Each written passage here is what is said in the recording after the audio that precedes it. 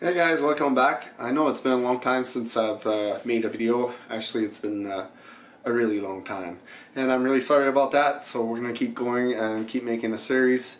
Uh, I've been working, so I didn't have time to uh, make the series. I've been working away out of town. So anyways, uh, we're going to keep going, and uh, today we're going to be installing Storage Spaces Direct onto our cluster node and we're gonna get that going and then we're gonna create a storage pool of all our hard drives so that they're all inside of one pool.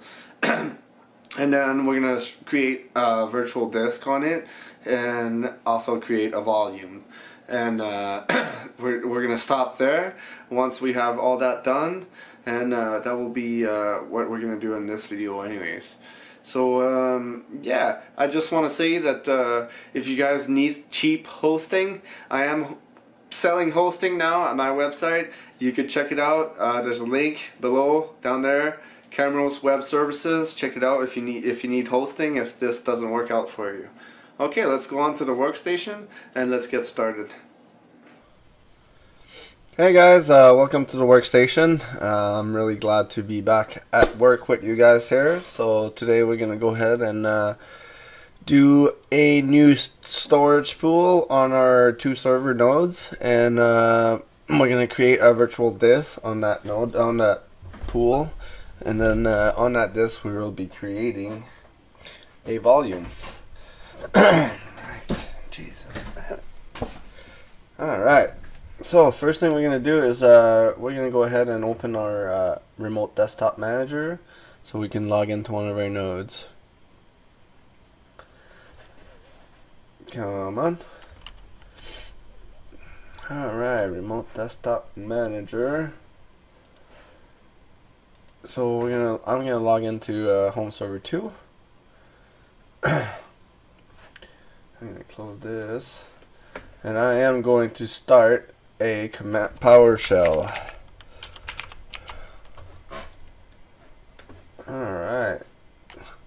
So the first thing you're going to want to do is you're going to want to type in this command enable cluster storage spaces direct. And then you're going to want to do auto config semicolons semicolons 0 and then we're gonna do skip eligibility eligibility. Ah I can't even say that word ability checks. Just like that and then hit enter. And it's going to enable storage spaces back. Performing the action on target main cluster. Yes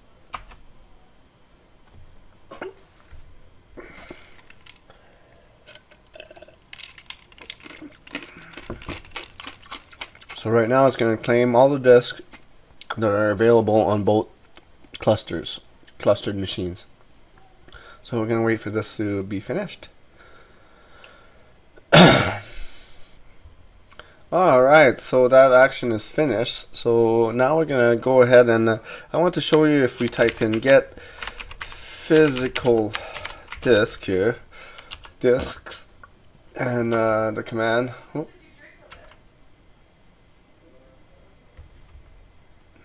sorry, get physical disk. So if I type in this command now, it's going to show me all the disks that are in the pool. And uh, there's four disks.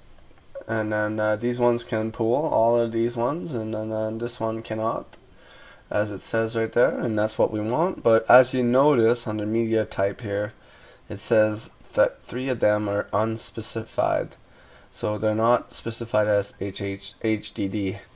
So when I try to make the storage pool, it won't work. So what we need to do is we need to set these devices as, as HDD.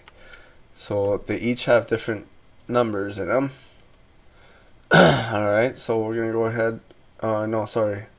The We're going to use this number. We're going to use the friendly name. So they all have, all of these ones have the same one, same friendly name.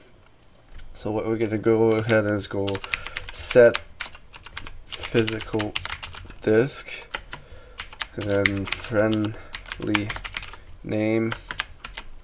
And then the friendly name is going to be this. And we're going to set it to the media type HDD.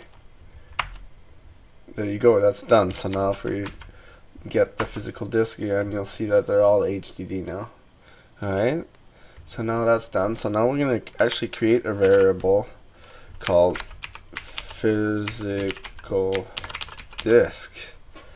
And then it's going to equal to this command, which is get physic physical disk. And then we're going to make sure that it's can pool is equal to through. Oops. So our variable is e going to equal to get physical pool, uh, disk can pool, which is these four disks that are here, which are the ones that we want. And they're all the exact same ones. I don't know why they got different friendly names, because they're all the exact same drives. But anyways. Okay, so there's our variable. So now we're going to create a new storage pool. And we're going to call it friendly name. I'm going to call it uh, just uh, um, cluster data. And we're going to go to a storage subsystem subsystem friendly name and that is going to be clustered Windows storage on main cluster.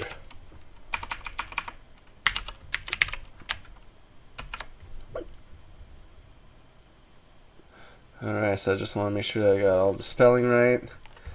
Yes. Alright. And I'm also gonna make it the we're gonna attach the physical disk to it. Shit. And that's going to equal to our variable which is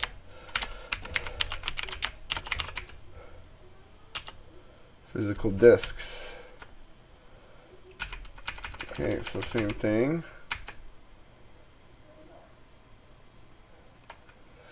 And then we're to make our resiliency setting name default. And that's going to be mirror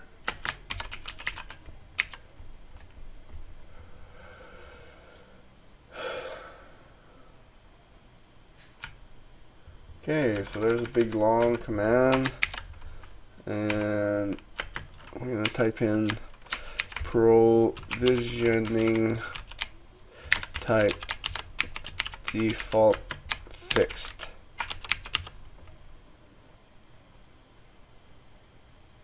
and we're going to type in verbose so we get lots of information on what's going on.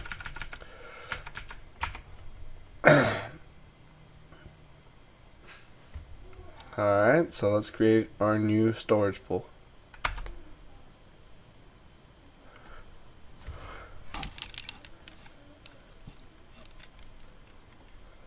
Okay, now that our uh, storage pool has been created, now we're going to use the Windows Admin Center uh, to continue our work here so we could create our volume.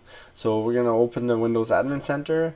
Uh, if you don't have the Windows Admin Center, uh, if you uh, search for one of my other videos, uh, I will show you how to install this on a on your workstation.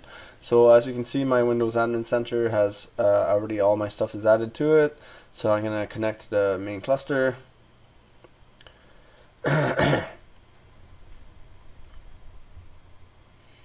Connecting. Alright, CPU usage, memory, blah blah blah. So if we click on drives, we can see that we have four drives. And right now there's only five gigs being used. And we got four terabytes available. And uh, some of it's being reserved. I'm not quite sure why. But uh, anyways, um, oh, it's for repairs and stuff. So anyways, uh, when we go to volumes here, we'll see that we have no volume, so we need to click on inventory uh, and click create. And we're going to call this uh, main storage. and it's a two-way mirror and we can't change it because that's how our storage pool is set and as you can see we got three gigs but when we I'm going to change just the gigs you'll see estimated footprint when we put in 1500 gigs you see the footprint is about double because we have a two-way mirror right now. So uh, I still have a little bit of room here, so I'm to go 1700 gigs. There you go, 1700 gigs is equal to about 2, te 2 terabytes uh, because it's been mirrored. Uh, so we're to click here, uh, use deduplication and compression. Uh, data type, yeah, Hyper-V. Alright and hit create. So it's going to create the volume.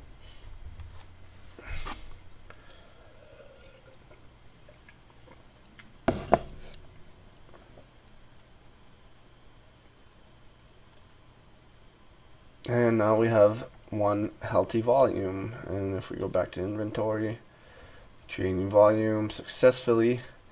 And that's the right file system that we want and we could see that it's 1.66 terabyte and right now there's nothing on it. So the first thing that we're going to want to do now is we're going to want to create a virtual machine. Let's look at the virtual switches first though. Yeah that's alright.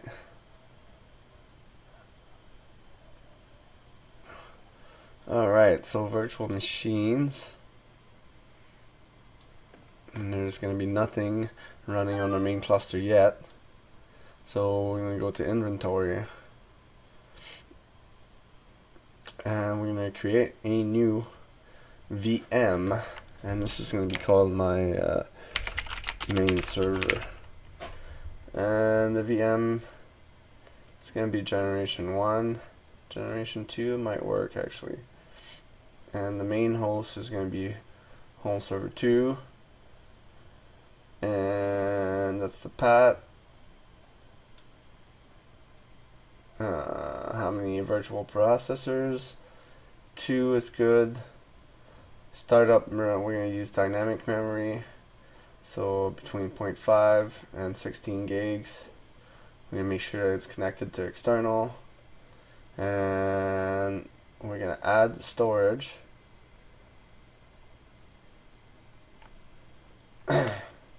And we're gonna make sure that it's uh, 1600 mm, gigs. And now we're gonna want to open install an operating system which I'm gonna download. Ubuntu 18 Ubuntu 18 LTS by Onic Beaver. So we're gonna download the server image 64-bit downloading and wait for that to be finished.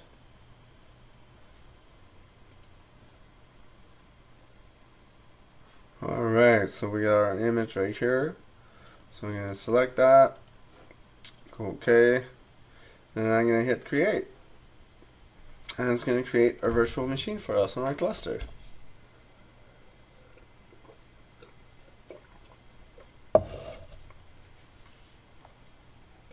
So it's successfully created. So right now it's stopped. But uh, we're going to start it.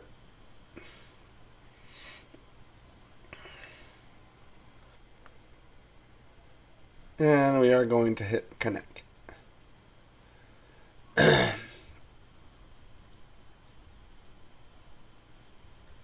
Connecting to the VM. It might ask for some credentials. Here's the credentials.